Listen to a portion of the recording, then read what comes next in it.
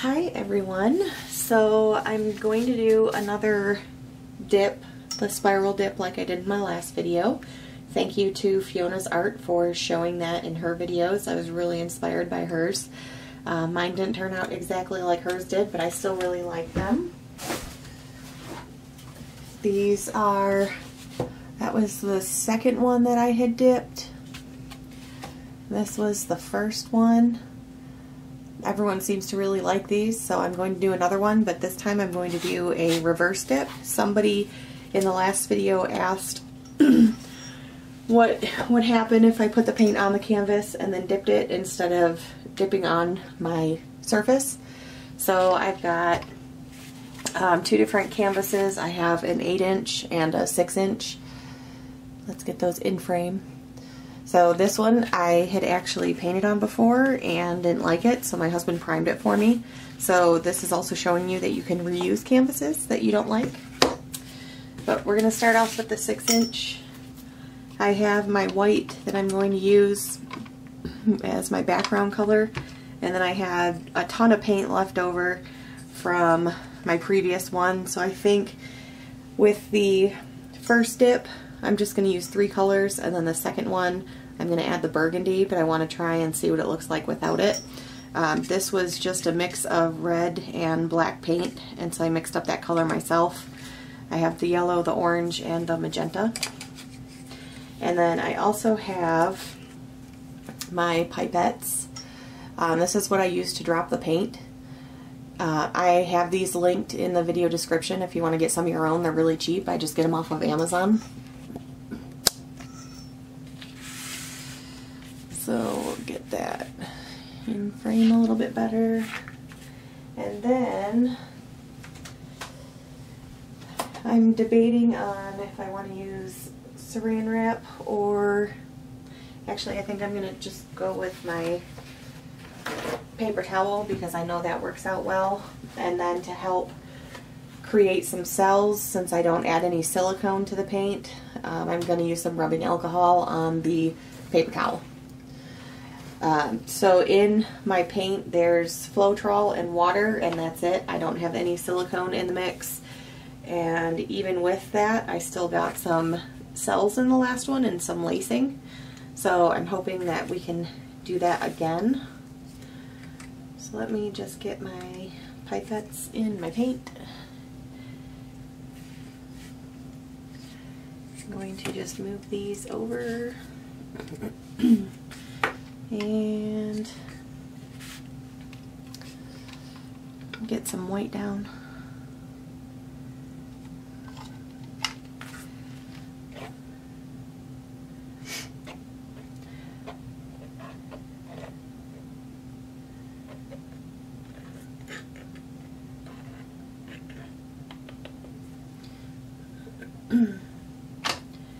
okay, so with this one, I'm not going to use the burgundy in this one, but I will in the second one. I just want to use the magenta, the orange, and the yellow.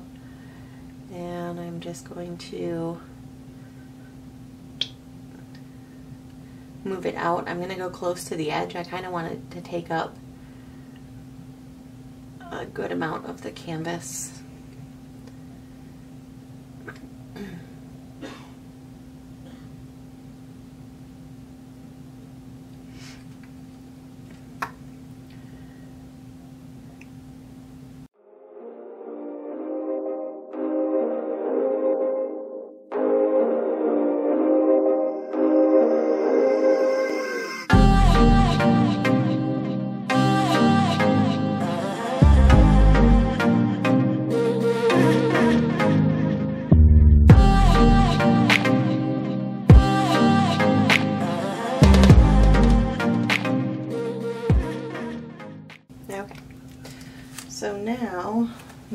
take my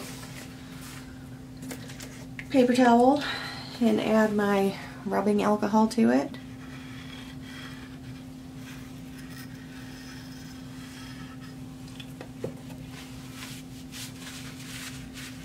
So that I have a nice damp paper towel. I'm going to move my paint out of the way so I hopefully don't knock it over.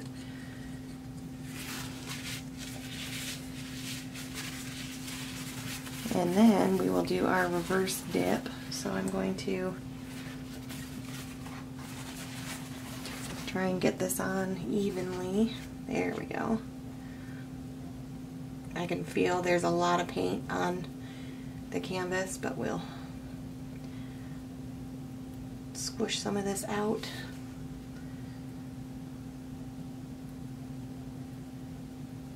And see what kind of design this one makes. I think those colors are really pretty. I think that'll look fine. Okay, so I'm just going to take each of my, ooh, that's bright. Oh, wow. That's really pretty. Okay, so that turned out a little bit more, oh, let's torch it just a little bit. Be careful. I was using rubbing alcohol, but I do want to see.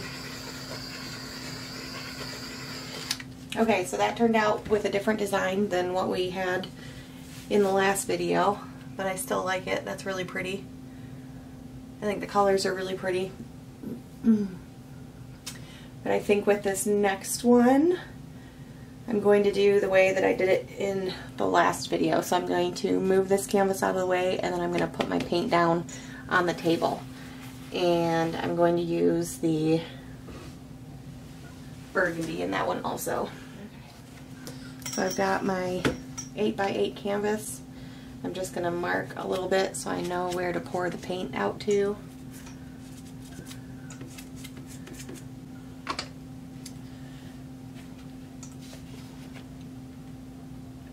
I'm not worried about the paint that's left over. There's not a whole lot there. So I'll just pour the white down.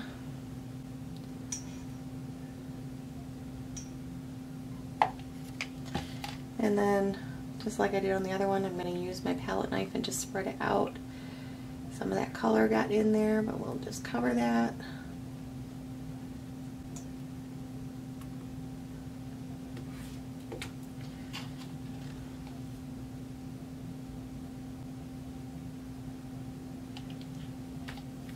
Okay, so this one, I'm probably not going to use as much burgundy.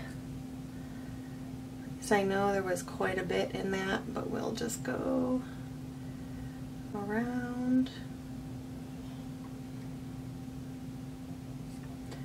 To fill in those empty spots. And this is going to take a little bit of time to do.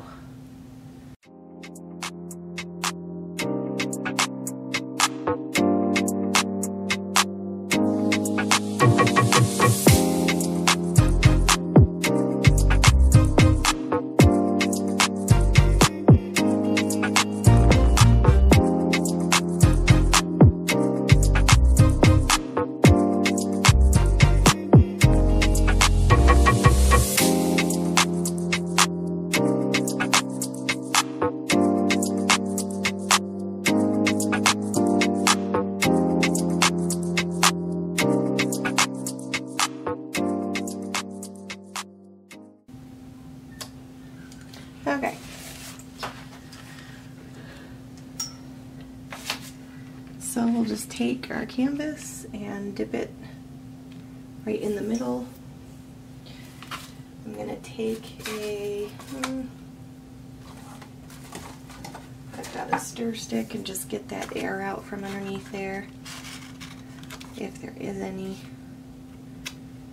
I don't think there is, it doesn't feel like it, but I want to make sure that the canvas is covered.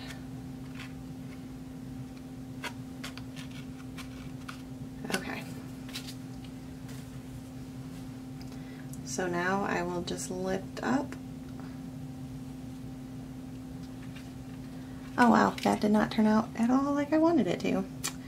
Well, that's unfortunate, but it's still really pretty.